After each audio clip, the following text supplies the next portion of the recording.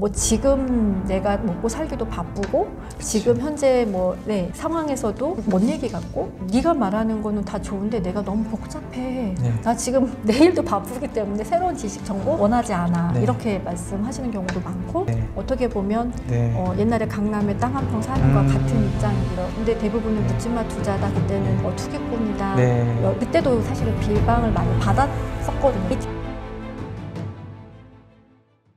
그럼 작가님이 이 가상 자산이라고 해야 되나요? 가상 자산에 대한 확신은 이게 확실하게 네, 올 수밖에 없다 가상자산은 이거는. 네, 올 수밖에 없는 세상이다. 어. 그래서 제가 그 가상자산 세 번째 기회가 온다라고 표현했던 네, 네, 거가 네. 우리가 돈을 벌 수 있는 기회들이 사실 있었잖아요. 음. 저희가 하- 너무 우스갯소리로 하는 말들이 있어요. 왜 아빠는 삼성전자 네. 주식을 안 샀을까? 지금 액면도 예전에 우리가 어, 국토개발 사업 할 때 네. 정말 70년대 초로 넘어가면 음. 강남이 개발될 그쵸. 때 정말 네. 논두렁에 그 소를 가지고 이렇게 경작하던 그 시기에 음. 사실 왜 할아버지 세대는 또 네. 땅한 평이 없었을까 생각하잖아요. 네, 네. 근데 그렇게 큰 부의 흐름이 음. 이렇게 1차, 2차를 놓라고 하면 세 번째 음. 기회는 가상 자산에 있다고 음. 봐 보고 있어요. 어. 그래서 그 기회를 지금도 네. 계속 조금씩 이렇게 네. 우리한테 오고 있는데 네. 이거를 인지하지 않고 왜 진짜 돈으로 가짜 돈을 사니? 네. 음.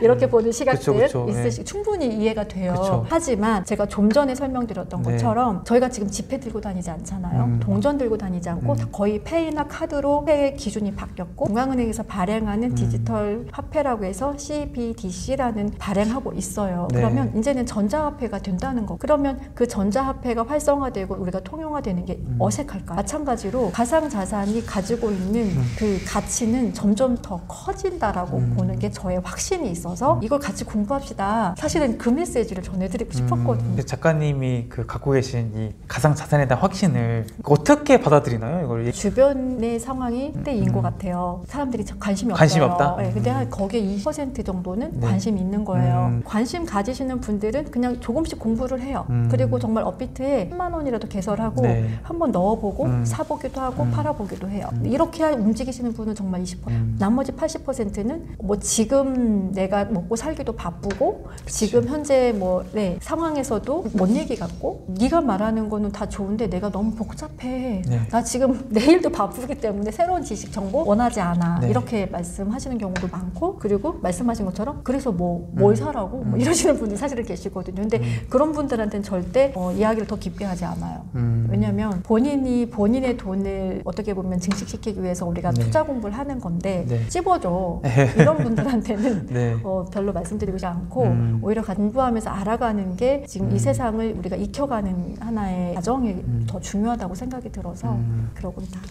그 이제 그런 이제 뭐 변화에 이제 많이 투자를 하는 건 좋지만 그러니까 투자를 하면은 이제 말씀하셨다시피 이제 잃을 리스크가 생기는 거잖아요. 네네네. 그래서 그 리스크 때문에 사람들이 사실 두려워하는 거고 이제 못하고 안 하는 거잖아요. 코인 투자할 때 조금 이제 뭐랄까 좀 실패 줄일 수 있는 어떤 방법이 있을까요? 실패하지 않는 노하우라고 하면 음. 솔직히 어, 안 하는 게 가장 실패를 안 할 수 있는데요.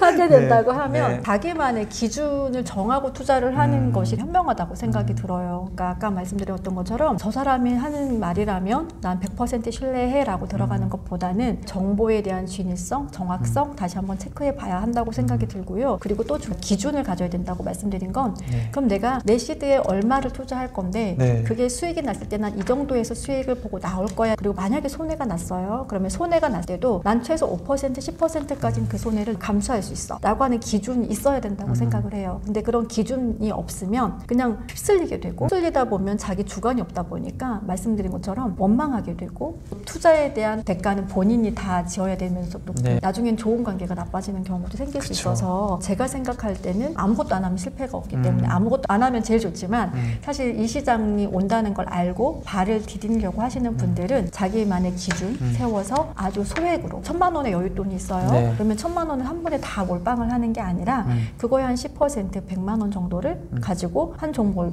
설정하는 거죠. 음. 그럼 그 한 종목을 설정할 때 음. 어떤 기준으로 종목을 설정할 것이냐 이 공부 되어야 된다고 네. 생각이 보통은 음. 네, 그 종목을 왜 선택하는지에 대한 내 음. 기준이 먼저 있어야 되고 음. 그 종목을 선정한 이후에도 나는 네. 어느 정도의 수익까지 어느 정도의 음. 이 기준 안에서 좀 기계처럼 움직여야 돼요. 음. 본인이 원하는 기준이 되는 수익이 있다고 음. 하면 그 정도 선에서 이렇게 나올 수도 알아야 되고 음. 또 떨어지면 더 이상의 손해를 막기 위해서 미리 차단할 수 있는 지혜도 필요한 게 기준 매매라고. 그 이제 주식을 안 하고 이제 코인을 하시는 이유가 결과적으로는 그거네요. 뭔가 주식은 이제 기업에 투자하는 거니까 현재의 느낌이라면은 네. 코인은 이제 다가올 미래에 약간 나는 어. 더 투자를 하겠다. 네, 네. 이런 관점인 거죠. 그래서 주식은 그렇게 하면 알아야 되 잖아요. 제표 보시고 여러 가지 뭐 정보들을 파악해야 되는 음. 부분들이 후반이 되면 마찬가지로 수익을 볼 수 있을 음. 거라는 생각은 드는데 음. 제가 마침 정보를 전했던 건 코인 쪽이었고 네. 마침 이게 코로나랑 맞아 떨어져서 음. 아 세상이 끼는구나 그러면 가상자산 쪽을 좀 공부해서 먼저 한번 배워야지 네. 그래서 사실은 먼저 비겼던 음. 거라고 보시면 될 것 같아요. 그럼 이제 코인으로 부자가 되는 방법 어떻게 하면 부자가 될 수 있나요? 코인으로 무조건 부자가 된다 이런 음. 거는 아니고요. 음. 우리가 기술이 발달할수록 항상 때에 따른 신흥 부자들이 생겼었어요. 네. 데이터를 보면 어, 지금은 어, 신흥 부자들 중에 차지하고 있는 비중이 코인으로 인한 부자들이 음. 많아졌거든요. 그들의 어떤 분들이 또 부자가 됐는지를 들다 보니까 네.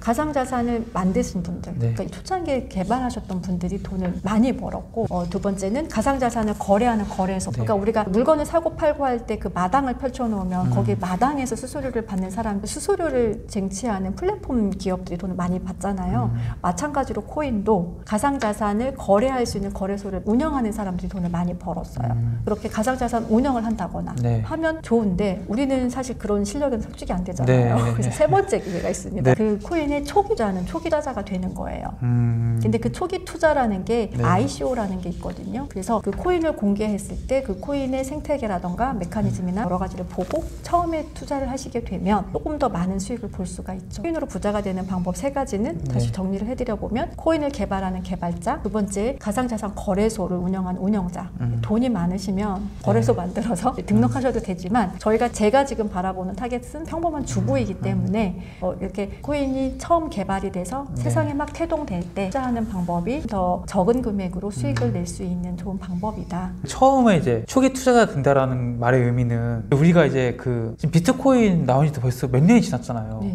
네, 그러면 이제 이게 그냥 그 가상화폐의 이제 긴 역사에서 그렇게 몇 년이 지났을 때 아직 초기라는 뜻인 건지 아니면은 네. 말씀하신 대로 이제 코인을 이제 개발 능력만 있으면 누구나 할 수 있으니까 네, 네. 뭐 지금도 수도 없이 많은 코인들이 만들어지고 있을 거 아니에요. 네, 맞아요. 그러면 이제 신규 코인에 투자하는 말, 말인지 네 네. 어떤 쪽인가요? 아, 네. 제가 말씀드렸던 거는 네. 지금 태동되는 코인들을 말씀드린 게 신규 투자 맞아요. 완전 새로운 신규 새로운 코인들. 네. 신규 코인들. 그런 코인들을 만나서 정확 하게 내가 알고 투자를 하면 네. 어떻게 보면 네. 어, 옛날에 강남에 땅 한 평 사는 음. 것 같은 입장이기도. 근데 대부분은 네. 묻지마 투자다. 그때는 네. 어, 투기꾼이다. 네. 여- 그때도 사실은 비방을 많이 음. 받았었거든요. IT 쪽에 투자하시는 분들도 어, 많은 욕들을 먹으면서도 네. 그때 투자했던 분들이 결국은 지금 또 부를 이루고 있는 것처럼 네. 코인도 지금 태동되는 코인들이 많아요. 음. 많은데 거기에서 옥석을 가릴 수 있는 안목을 기르는 거, 제대로 투자를 할 수 있는 거 는 계속 강조를 해드릴 수밖에 없지만 공부인 것 같습니다. 아, 그럼 공부를 하면 코인인지 안될 건지 보여요? 볼 수 있는 방법들이 몇 가지가 네. 있는데요. 네. 사실은 이제 코인마켓캡닷컴이라고 하는 음. 그러니까 전 세계 코인을 전부 싹 다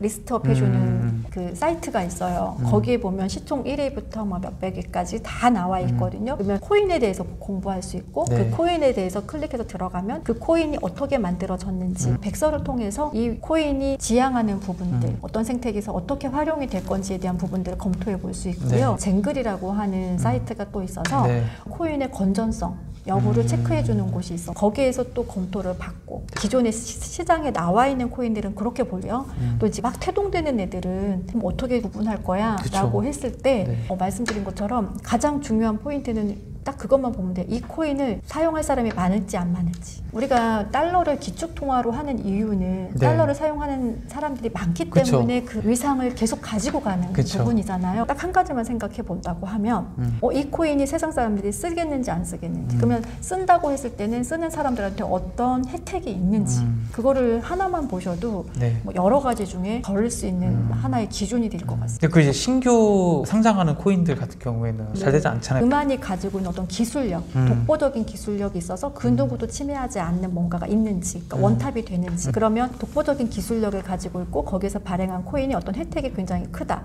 네. 그러면 사람들은 심리적으로 최고의 기술에 처- 가장 저렴하게 쓸 수 있는 방법이 사람들이 모여들 수밖에 없는 게 사실 시장 원리이기 때문에 음. 그런 코인들을 미리 이렇게 정보를 전해 들었을 때 네. 말씀드린 딱 두 가지만 기준을 잡아도 음. 여기 합당하다 그럼 내가 조금 더 이를 파볼 필요가 있겠다. 음. 세상에 딱 나왔을 때 네. 어, 사람들이 좀 쓸 것 같아. 왜냐면 세상 사람 들이 혜택을 많이 음. 받으면 쓰겠다라고 하는 그런 기준점과 음. 그 누구도 따라올 수 없는 독보적인 기술력이 네. 있는지 정도는 체크하시면 초기 투자하실 때 실패율 줄일 수 있고 음. 초기에 내가 소액으로 들어가더라도 나중에 조금 더 가격이 상승됐을 큰 수익을 바라볼 수 있다. 책에서 대장 코인을 사라고 하셨잖아요. 음, 이제 네, 그 네. 비트코인을 의미하는 거잖아요. 이제 부자가 되려면 신규 코인 사야 되는데 그걸 리스크가 크니 안정성을 좀 확보하기 위해서 부자가 되기는 좀 어려울 수 있지만 상대적으로 높은 수익률을 추구할 수 있는 게 비트코인이다 이렇게 이해하면 되나요? 이게 그러니까 말씀드린 것처럼 제가 네. 두 가지 내용을 사실 이 책에 담았던 네, 거죠. 네. 그러니까 코인으로 부자가 되고 싶은 세 음. 가지 방법 중에 코인 개발자, 거래소 운영자, 그다음에 네. 초기 투자자라고 말씀을 드렸잖아요. 음. 이 차원에서는 초기 투자로 들어가는 게 맞는데 음.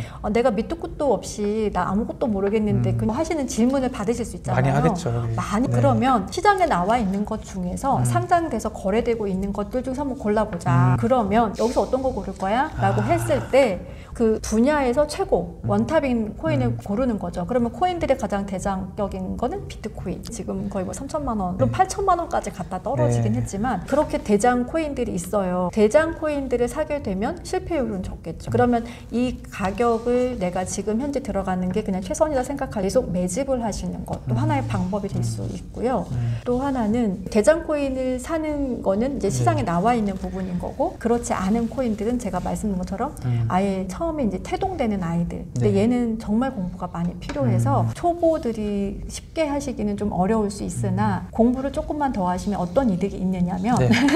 3천만 원이 제가 있어요. 예를 들어서 제가 3억의 자산가예요. 퍼센트만 제가 하자 네. 했잖아요. 그래서 3천만 원 있다고 가정을 할게요. 네, 네. 그러면 비트코인 한 개 살 수 있어요. 새로 태동되는 아이가 아까 말씀드린 기준에 의해서 음. 예를 들어서 독보적이고 음. 혜택이 가장 크고 안 쓰면 손해인 것 같은 코인이 음. 세상에 있어요. 음. 그러면 3천만 원으로 한 개를 사시겠어요? 아니면 이쪽 코인을 사시겠어요? 코인으로 부자 되는 방법은 네. 초기가가 조금 더 수월할 수 있고 음. 확률은 높아질 개념입니다. 음, 뭔가 일확천금이나 부자가 되고 싶으면 비상장 코인을 해야 된다는 거고 아 나는 공부도 잘 못하겠고 잘 모르겠다 네. 또 위험한 것 같다 하면은 네. 상장된 것 중에 사는 건데 네. 그럴 거면 대장주를 사라 구독자분들이 좀 해주고 싶은 말씀이 아, 네. 이거는 100번 강조해도 지나치지 않는 부분이 네. 네. 묻지마다. 음, 그러니까 정말 그런 분들로 인해서 사실은 네. 가장 많은 손해들을 봤고요. 음. 그래서 무리한 투자로 네. 묻지마 투자를 하신 케이스가 가장 안 좋은 케이스인 거. 정보의 진실성과 정확성은 꼭 한번 두들겨 보셔야 하고 음. 그거를 내가 정확하게 알고 나서 객관적인 데이터로 투자를 했을 때는 원망도 없고 음. 그게 조금 내려가더라도 불안하지가 않는데요. 말만 믿고 하면 조금 떨어지면 떨어져서 불안하고 그런 조급함이나 그런 원망감들이 더 안 좋은 결과를 가져오기 때문에 음. 마지막으로 꼭 해드리고 싶은 거는 어, 묻지마 투자 절대 하지 마시고 빚내서 하시지 마시고 음.